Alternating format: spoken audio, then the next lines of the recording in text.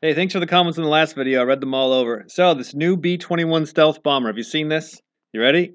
Ta-da! There it is. Oh, wait, no, that's the old one. This is the new one. Well, if you like the old one, you're going to love the new one because the new one's just the old one. Oh, I'm glad you like it. You bought it. Again, 500 to 800 million dollars each. All right, all right. So this plane is here to replace the aging B-2 stealth bombers.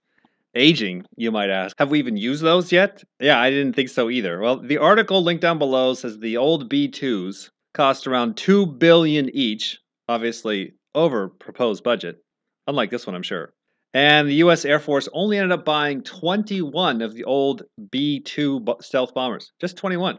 They were so complex, needed so much maintenance that only nine of them could be combat ready at any given time. All right, all right. So that may not be as bad as it sounds. You know, these are very complex machines. You wouldn't want them all sitting there. They're not cars, just sitting there ready to go. You like you want people working on them and taking them apart and servicing them. So okay, maybe that's not too bad. So what does the U.S. Air Force want here? Well, they say that they want hundred new bombers, not just 21. So they want them at a lower cost. Oh, well, that's good. The US government finally says, you know what?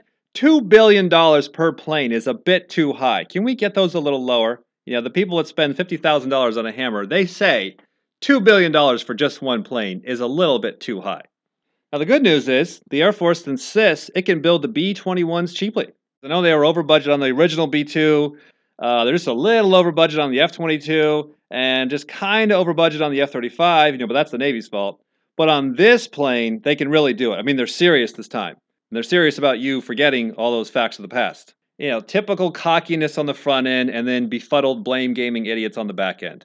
All right, well, here's where there might actually be some hope to that. So get your thumbs down button ready. Now, because they are actually building off a previous plane, you know, almost embarrassingly so, right? There should not be a whole lot to do, right?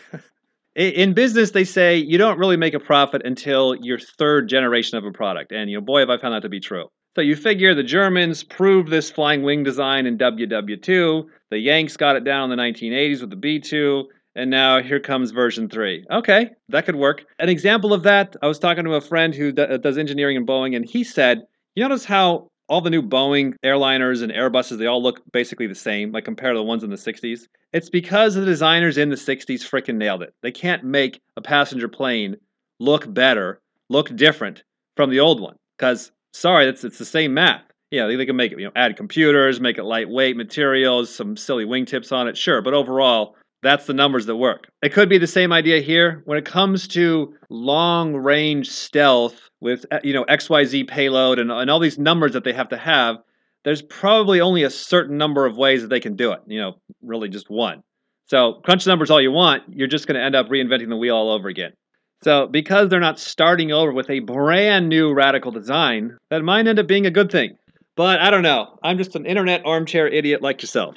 Now, as more of these articles come in on this B-21 bomber, uh, if you would, post them down below the video here. Uh, and for now, let me know what you think of all this. And honestly, you know, all joking aside, uh, how do you feel about all this? Are you, are you are you proud to be American, or are you feeling a little bit ripped off? You know, I mean, myself, a little bit of both. It's it's great to see the technology of what we're doing, what we're capable of. It's you know, it's a lot of money for them to spend, and then uh, you know, turn around and tell us they already spent it. We still got a little bit of freedom left. Tell me how you really feel.